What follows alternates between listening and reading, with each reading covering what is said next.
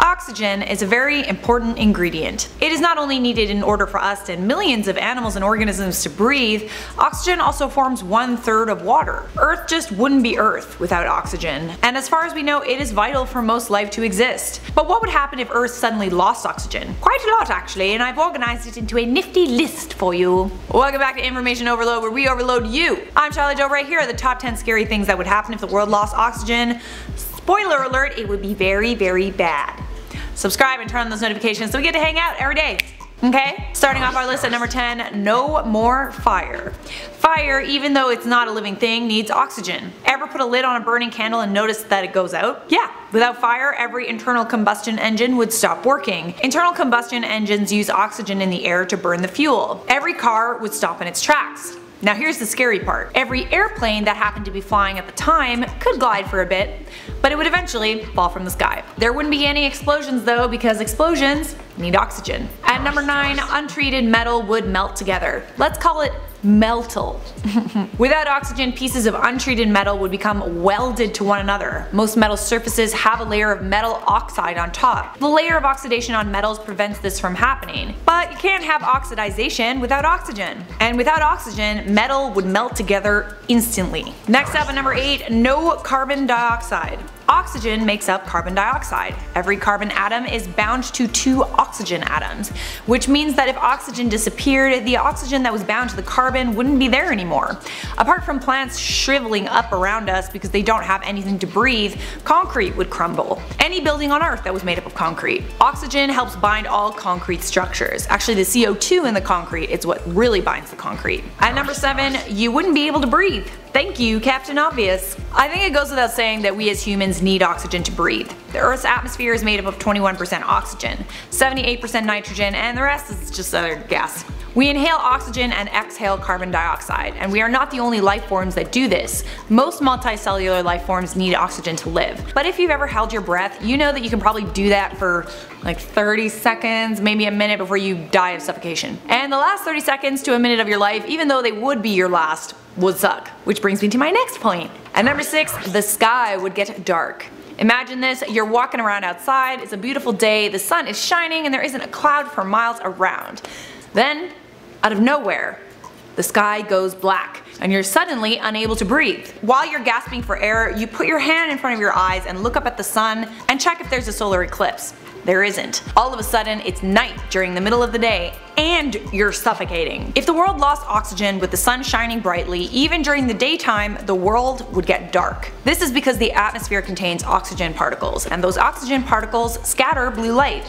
You definitely can't see it because oxygen molecules are small, so small. But light particles bounce off oxygen particles in that atmosphere. Without oxygen, the sky would look far less blue and far more black. But wait, it gets worse. Halfway there now at number 5, blistering, sizzling sunburns. Oxygen makes up the ozone layer, which protects life forms on Earth from harmful UV rays. Without an ozone layer, the sun's harmful energy would penetrate the surface of the planet, leaving many of us with second or even third degree sunburns, essentially cooking us. So just so we're up to speed, a little recap. You can't breathe, the sky is black, and your skin is burning and sizzling. Oh, but I'm not done yet. We're only at number 5 friends. And number 4, exploding eardrums. Your inner ear is a very delicate part of your body. I know this firsthand because I once broke my eardrum when I was about 12 and I was sick. My ears were popping so I held my nose and I blew but then my eardrum popped. I'm not going to show you what to do because I don't want it to pop again. Your eardrum will pop FYI, never do that. Your eardrum will pop and it will hurt very much and my hearing in my left ear still isn't as sharp as it once was. My point is, air pressure is needed in order for your eardrum to even exist. Without oxygen, your inner ear would lose 21% of its air pressure and it would explode. it would kind of feel like you were like skyrocketed into a high altitude and then it was just not fun. Sliding right into number 3, all the oceans would evaporate. Water would not exist on Earth, which means the oceans and all bodies of water would evaporate. Two thirds of the Earth is made up of water, and water, aka H2O, is one third oxygen. If we suddenly lost oxygen, that would mean the oxygen would no longer be bonded to the hydrogen, and the hydrogen would become a free gas and start expanding. All bodies of water would evaporate into space and all the life that exists in those oceans would die, but not necessarily because of a lack of body of water to live in. Water doesn't only exist in the ocean, you don't only need to drink it, and aquatic life doesn't only need it to swim. Which brings me to my next point. At number 2, life would evaporate. Water makes up a lot of life forms. Humans are made up of 60% water, most of the water is contained in our cells. Our cells need water to live and we have billions of cells. Water is the human body's most major component. Without water we would just not exist. So if the world lost oxygen, I would imagine our bodies would just disintegrate into whatever materials are not bound to water. Kinda like what happens when Thanos snaps his fingers.